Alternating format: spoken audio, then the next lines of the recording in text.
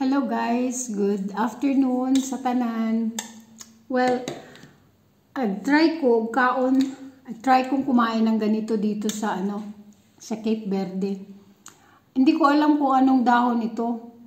Sabi naman nila, makakain daw to. What, uh, yung raw lang na hindi lulutuin. So, ang ginawa ko, pag uwi ko ng bahay dito, bili ako ng carrots. May carrots siya tapos, bili ako ng cheese. Yung cheese na yung parang square na ano ko lang, kinat ko lang siya ganyan. Tapos, may ham din. Isang piraso lang din na ham. Tapos, lagyan ko ng asin. Tapos, olive oil. Ayan. Tapos, may konting mayonnaise. Kaya parang hindi ko kaya. Ewan ko lang, try ko lang. Tapos, lagyan ko ng asin. So, try natin kainin mga langga ah. Salad dito ng sal ng ano, ng Cape Verde. Yung kanilang dahon yung dahon nila. Hindi ko alam ang pangalan, tatanong ko pa. Ilagay ko lang sa comment section ha. Okay, try natin.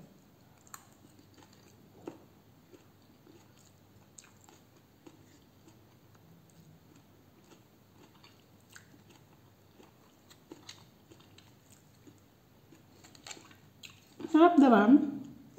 Pag talagang gutom ka. Pero parang side dish lang siya. Pang side dish lang, hindi talaga siya main.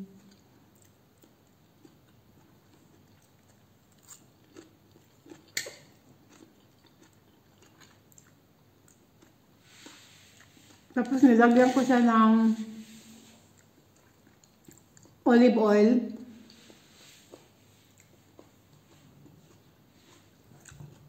Tapos asin. Yun lang. Try natin maging healthy. Ba? Okay man siya. Binili ko siya ng ano. Um, 150 na pera nila dito. So, bali kung 150, sa atin dyan, ano, 75 pesos. Ganyan. So, kain tayo guys. Lami. Lami siya.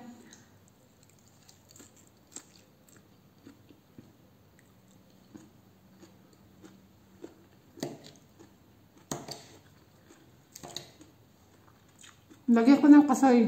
Konti. Para may, ano, may lami-lami. No?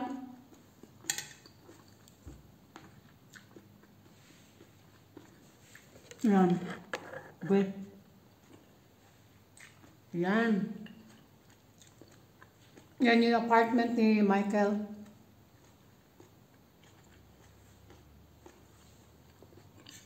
Kami lang dalawa na magawa.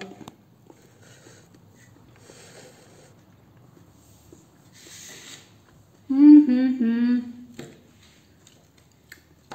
Tapos, kwento tayo guys.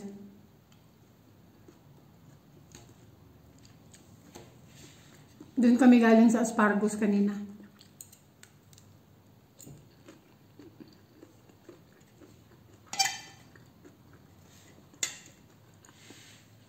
Yung asparagus, parang ano siya, Barang kapital, kunyari, Sikihor, Kalalinan.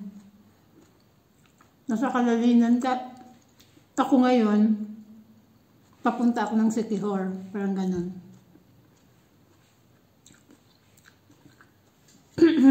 Nami man dahil? Ba, ang dami no? Hindi siya mapait. Kasi sabi, roll daw Maubos ko kaya to?